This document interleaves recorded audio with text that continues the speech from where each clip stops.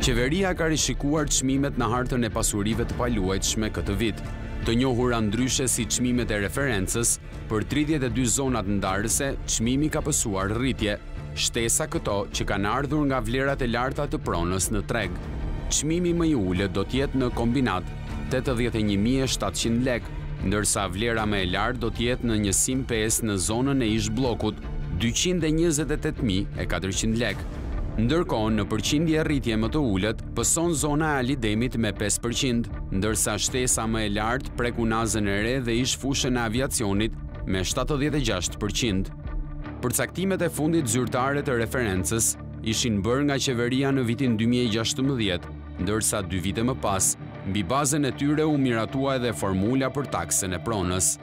Çmimet e referencës patjetër janë riparë të gjitha për lart dhe është afër mendjes duke parë dhe zhvillimet që ndodhin në Bashkinë Tiranë. Ka zona që janë rivlerësuar më shumë dhe ka zona që janë kanë pasur një rritje le të themi pak më të vogël. Domethënë, nëse ne e kapim nga ana metodologjike dhe nga koncepti i aplikimit të kësaj takse, nuk ka asgjë të gabuar këtu. Por, Ajo çka na çalon dhe na dështon me sukses gjithmonë është pikërisht mënyra se si e aplikojmë. Kjo është totalisht e gabuar sepse na vendos vetë qeverinë shqiptare dhe bashkitë në kushte pabarazie shumë të madhe. Çmimet e referencës nuk ndryshojnë në gjashtëdhjetë bashki të vendit dhe me formulën e gatshme të vitit dy mijë e tetëmbëdhjetë, pronarët e apartamenteve, dyqaneve, Garazheve, bodrumeve e fabrikave jashtë perimetrit të Tiranës nuk do të shohin ndryshime në faturat që paguajnë. Sipas këtij ligji preket vetëm qarku i Tiranës, pra nuk preket asnjë nga 61 bashkitë me përjashtim siç e thashë të Bashkisë së Tiranës, e cila në ndryshim nga vendimi i mëparshëm ka një rritje çmimeve të referencës, gjë që do të thotë që ka sigurisht edhe një pagesë të shtuar që bëhet fjalë për vlerësimin e taksës së pasurisë. Pra, Në Tiranë, në të gjitha zonat që përfshihen në qarkun e Tiranës, qytetarët e Tiranës do të paguajnë në faturën e ardhshme të energjisë, të ujit, më falni, do të paguajnë pikërisht një çmim të shtuar që lidhet me çmimet e reja të referencave të miratuara tashmë me një vendim të Këshillit të Ministrave. Sigurisht, ky vendim ka një kohë të kufizuar Ai mund të bjerë shpejt në janar të vitit dy mijë e njëzet e katër. Projekti për pasuritë e paluajtshme mori formën e plotë në gusht të këtij viti, për të ardhur shpejt në fazën e zbatimit.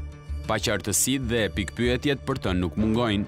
Ato nuk janë të lidhura vetëm me llogaritjen e çmimit, por edhe për grupet që do të përjashtohen, llojet e pronave, e madje edhe për modelin që po ndjek Shqipëria në këtë drejtim. Shumë për t'u diskutuar këtu se mbi cilën pronë dhe duke thënë këtë që mbi pronat që gjenerojnë të ardhura, shtëpiat në shumë legjislacione, në shumë vende, shtëpiat ku jeton qytetari nuk taksohen. Taksohen shtëpiat e dyta, të treta, sepse shtëpia ku ti jeton dhe kur i rritet vlera, nuk i rritet si rezultat i një aktiviteti fitimprurës, por i rritet se si thua si fëmija është një vjeç do bëhet dy do bëhet tre. Ky është dhe një zhvillim i natyrshëm i vlerës së pronës me zhvillimet urbane.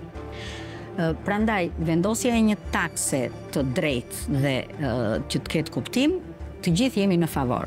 Por, vendosja e kësaj takse në një bazë tjetër, siç po bëhet pa lajmërim dhe me shpejtësi të madhe, kuptohet është e dëmshme për xhepat e qytetarëve, sidomos të familjarëve, sepse për xhepat e atyre të cilët kanë sjellë gjithë këtë bum në tregun e pasurive të paluajtshme me paranë e paligjshme, nuk do të thotë